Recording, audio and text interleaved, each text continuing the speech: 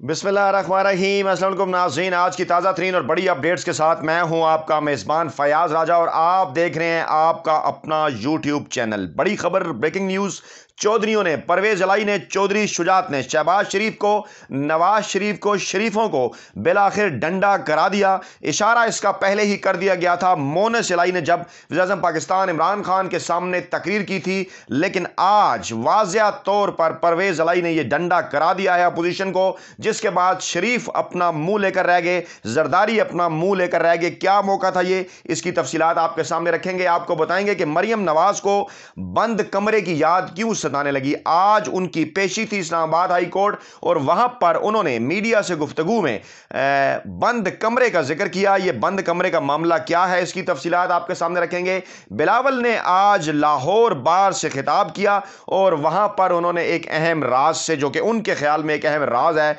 उससे पर्दा उठाया। उसकी तफसीत भी आपके सामने रखेंगे। लेकिन दोस्तों, इन तमाम खबरों की तफसीत में जाने से पहले आपको यह बताएँ कि जहाँ अपोजिशन इतना शोर कर रही है कि हाय, मर गए, मारे गए, बर्बाद हो गए, पाकिस्तान को ये हो गया, वो हो गया, फला हो गया।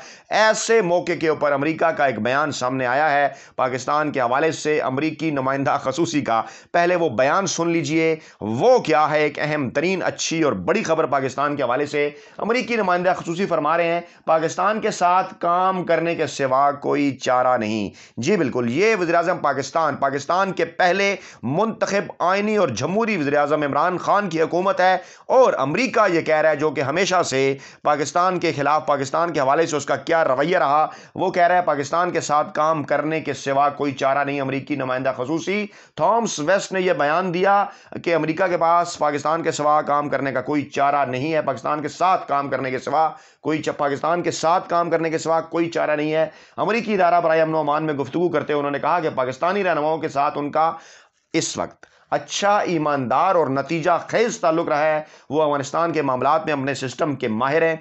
यानी कि वो भी तारीफ़ कर रहे हैं, पाकिस्तानी रहनुमा जो इस वक्त मौजूद हैं पाकिस्तान में, पाकिस्तान की क्यादत कर रहे हैं, चाहे सियासी महाज पर या स्क्री महाज पर, उनकी ईमानदारी की वो तारीफ़ कर रहे हैं और कह रहे हैं कि तालिबान से मुजाकर के दौरान पाकिस्तान के बहुत करीब रहे हैं। उन्होंने कहा कि पाकिस्तान ने कुछ इकदाम मानी खेज, नतीजा खेज और मौसर अंदाज में मतवातर अगर जो है वो पाकिस्तान ने उठाए होते तो हम इससे मजीद आगे भी जा सकते थे। यानी वो ये चाह रहे हैं कि पाकिस्तान के साथ उनका ताल्लुक बना रहे और कायम रहे। और इस तमाम तर सूरत हाल में ये अमरीका का बयान बड़ी अहमियत का हामिल है जब अपोजिशन की जानब से यह कहा जा रहा है कि पाकिस्तान आलमी तनहाई का शिकार है। दूसरी जानब जनाब बिल गेट्स पाकिस्तान आए, किसी तारफ़ के मोहताज नहीं, उन्हें हिलाल पाकिस्तान से नवाजा गया।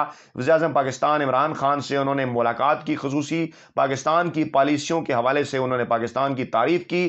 कोरोना के दौरान ख़ास तौर पर पाकिस्तान का जिस किस्म का रिएक्शन था, उसकी उन्होंने तारीफ़ की। तो ये आपको नज़र आ रहा है कि अपोजिशन को किस बात का रोना है है, जबकि अमरीका, जबकि बिल गेट्स, जबकि जितने भी आलमी इदारे हैं, वो पाकिस्तान के साथ बेहतर और अच्छे ताल्लुक रखना चाहते हैं और पाकिस्तान की क्यादत की तारीफ़ कर रहे हैं। तो जनाब, दो बड़े आज मामला थे, क्योंकि पूरी कोशिश करते रहे पी डी एम के लोग, अपोजिशन के लोग, नवाज़ शरीफ, शहबाज शरीफ, जरदारी, फजरमान के किसी तरीके से इमरान खान के खिलाफ नंबर गेम पूरी की जाए, लेकिन जब मुलाकात के बाद, जब उस मुलाकात के अंदर जो कि शरीफ, शहबाज शरीफ की जो है वो परवेज अलाई से हुई, चौधरीों से हुई, वहाँ उन्होंने दाना डालने की कोशिश की, पंजाब की वजारत अला के हवाले से। लेकिन इमरान खान का सियासी कार्ड ऑलरेडी तैयार था तो परवेज अलाई और चौधरीों ने भी एक बेहतर मौक़ के साथ वो सामने आए। सियासी खानवादा हैं, लोगों के साथ ताल्लुक जो है वो रखना जानते हैं। माजी के तमाम मामला भी उनके सामने हैं। परवेज़ अलाई का जवाब पहले मोनस अलाई की सूरत सामने आया, लेकिन आज परवेज़ अलाई ने एक अहम तरीन मौके पर कल ये आप जहन में रखिए कि कल जो काफ लीग की पूरी पार्टी थी, पार्लिमानी पार्टी, सूबाई सतह पे, कौमी सतह पे, यानी M N As M P S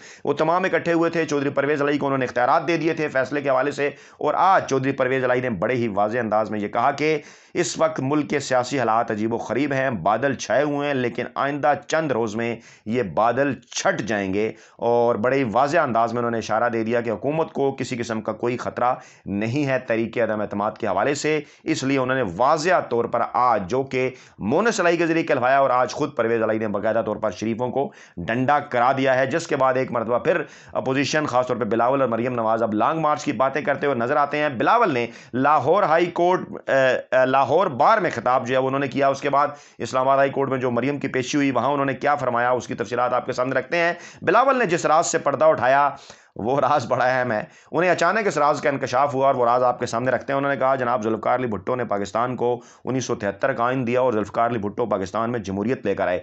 क्या उनसे ये पूछा नहीं जाना चाहिए कि आज अक्सर वो बात करते हैं, सदारती निज़ाम के हवाले से बहस क्यों छिड़ी जा रही है? तो भुट्टो मरहूम सबसे पहले पाकिस्तान के सदर क्यों बने थे? वजी बनने से पहले क्या ऐसे मामला थे, क्या ऐसे इख्तियार थे जो वो अपने हाथ में लेना चाहते थे? और उसके बाद फिर उन्होंने बतौर सदर ही वो तमाम तर किस तरह से उन्नीस सौ तिहत्तर के आइन के हवाले से तैयारी की और उसके बाद तमाम तर इख्तियार उन्होंने वजी को सौंपे और फिर छलांग मार कर वो वजी के अहदे पर जा बैठे।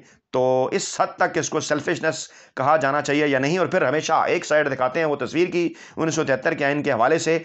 तो हमारे पास ये किताबें, ये सबूत तमाम तर मौजूद हैं। वीडियोज़ में आपको बताते रहते हैं कि किस तरह से पहली पाँच तरामीम उन्नीस सौ तिहत्तर के आइन के बाद जो भुट्टो ने की आइन के अंदर, अपोजिशन को मुकम्मल तौर पर तोड़ मरोड़ दिया। तमाम तर इदारे अपने कब्ज़े में ले लिए। सुप्रीम कोर्ट के और इसके साथ साथ जजेस साहिबान के इख्तियार उन्होंने कम कर दिए। अकलीतों के हवाले से जो उनकी पॉलिसियाँ थीं, वो भी सबके सामने हैं। यानी उन्नीस सौ तिहत्तर के आइन की को वो देने का जो है वो दावा तो करते हैं, लेकिन उसके फ़ौर बाद अपने ही दौरे हुकूमत में अगले दो वर्षों में पाकिस्तान के आइन का, जो उन्होंने अपने अख्तियार में इजाफा हासिल करने के लिए जो हजर किया, वो तारीख का हिस्सा है, वो सबके सामने है, सबूत मौजूद हैं, और आप लोगों को बेवकूफ़ नहीं बना सकते। बिलावल भुट्टो साहब आज फरमा रहे थे कि पाकिस्तान आमरीत की जानब बढ़ रहा है तो पाकिस्तान में सबसे पहला सिविल आमिर का खिताब भी जुल्फ़ार अली भुट्टो साहब को हासिल है, जो कि सिविल मार्शल एडमिनिस्ट्रेटर बने पाकिस्तान के मार्शल के तौर पर सामने आए, वो यहिया खान से उन्होंने मार्शल आर्ट एडमिनिस्ट्रेटर के अख्तियार लेकर खुद संभाले, फिर सदर बने और फिर छलांग मार कर अजम बने। तो ये एक पूरी तारीख है और आप लोगों को झूठे भाषण जो है वो जमहूरीत के नहीं दे सकते। और जब अब आपको नज़र आ रहा है कि कुछ भी नहीं सामने आपके तो आज फिर आप चीखें मार रहे हैं और कह रहे हैं कि पाकिस्तान अमरीत की जानब बढ़ रहा है और हम जनाब आवाम को साथ लेकर निकलेंगे। घोड़ा भी हाजिर है और मैदान भी हाजिर है। अवाम देख लेंगे कि आपके साथ पाकिस्तान भी देख लेगा अवाम भी देख लेंगे, हम सब भी देख लेंगे कि कितने अवाम आपकी आवाज़ पर लब्बैक कहते हुए बाहर निकलते हैं और अठारह फरवरी को जो इमरान खान जलसों का एक आगाज़ करने जा रहे हैं इमरान खान का साथ कितने अवाम देते हैं। अब जनाब आते हैं मरियम नवाज़ के बंद कमरे की जानब और बंद कमरे की तफसीत बताने से पहले मैं आपको बताऊँ कि वजी अजम हाउस के अंदर नवाज़ शरीफ के दौर में भी बंद कमरों के हवाले से बड़ी कहानियाँ आती रहीं बल्कि मरियम नवाज़ और, और नवाज़ शरीफ के फेवरेट कालम नगार और सहाफ़ी हामिद मीर ने अपने कालम में भी ये लिखा था और कहा था कि हामिद के नवाज़ शरीफ के कमरे से क्या क्या चीज़ें जो हैं वो बरामद हुई हैं उन्होंने जो है वो जिनसी अद्वियात का भी ज़िक्र किया, बाज़ लोगों के ख्याल में व्यागरा का भी ज़िक्र किया, दीगर कई चीज़ों का भी ज़िक्र किया इंडियन अदाकारों की तस्वीर, फ़िल्मों, कैसेट्स, पता नहीं किस किस का उन्होंने ज़िक्र किया। उस वक्त हामिद मीर जो है वो शायद उनसे ये पूछा जाना चाहिए कि क्या वो उस वक्त हक पे थे या आजकल वो हक पे हैं, जब उन्होंने ये सारी तफसरत बयान की थी। तो मरीम नवाज़ ने खैर जब आज आज एक तरह से कहा तो ये जा रहा है कि उन्होंने जनाब, आज इस्लामाबाद हाई कोर्ट के बाहर मीडिया से गुफ्तु की, लेकिन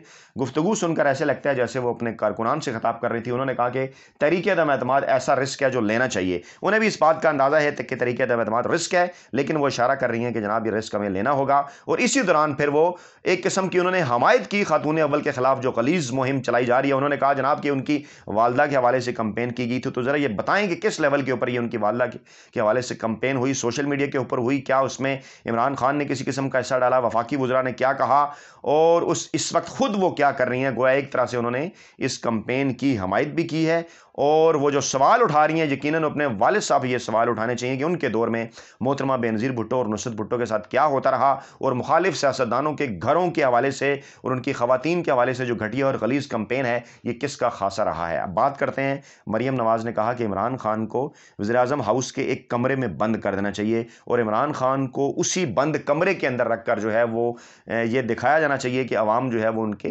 खिलाफ हो चुके हैं। अब ये है मरीम नवाज़ की सोच और अप्रोच। उनका ये कहना है कि इमरान खान को वजी अजम हाउस के एक कमरे में बंद कर दें। अब यहाँ से आप सोच सकते हैं कि मरीम नवाज़ किस हद तक डेस्परेट हो गई हैं, किस हद तक मायूसी का वो शिकार हो गई हैं कि अब उनको बंद कमरों की याद सताने लगी है। शायद उनके ख्याल में वजी अजम हाउस के वो बंद कमरे हैं जिनकी कहानियाँ हामिद मीर ने नवाज़ शरीफ के हवाले से बयान कर रखी हैं। बहरल बंद कमरे का ये ज़िक्र क्यों आया, इसके हवाले से आप भी फीडबैक दे सकते हैं। अपना बहुत ख्याल रखिएगा दो में याद रखिएगा। नई वीडियो के साथ जल्द आपकी खिदमत में हाजिर होंगे। अल्लाह ने के बाद